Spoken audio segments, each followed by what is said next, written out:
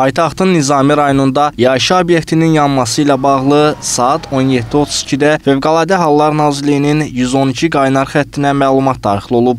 Bunu Fövqəladə Hallar Nazirliyinin Dövlət Yanğından Mühafizə Xidmətinin rəis müavini polkovnik Taleh Babayev bildirib. O qeyd edib ki, yanğın söndürənlər çağırışdan 4 dəqiqə sonra hadisə yerinə çatıb. Dərhal hadisə yerinə yanğın texnikası cəlb olunmuşdur. 4 dəqiqə ərzində yanğın texnikası hadisə yerinə çataraq şəraiti qiymətləndirilmiş və yüksək saylı çağırış elan olunmuşdur. Yanğın yaxında olan fərdi yaşayış evləri və digər obyektlərə keçməsinin qarşısı tam olaraq alınmış, qısa bir zamanda məhdudlaşdırılaraq söndürülmüşdür. Yanğın yerində xəsarət alan olmamışdır. Qeyd olunub ki, sahəsi 2000 kvadrat metr olan yaşayış obyektinin təxminən 800 kvadrat metr hissəsi yanıb, xəsarət alan olmayıb. Yanğın səbəbindən Nizami rayonu Fəhlə küçəsi istiqamətində nəqliyyat vasitələrinin hərəkətinə qoyulan məhdudiyyət aradan qaldırılıb.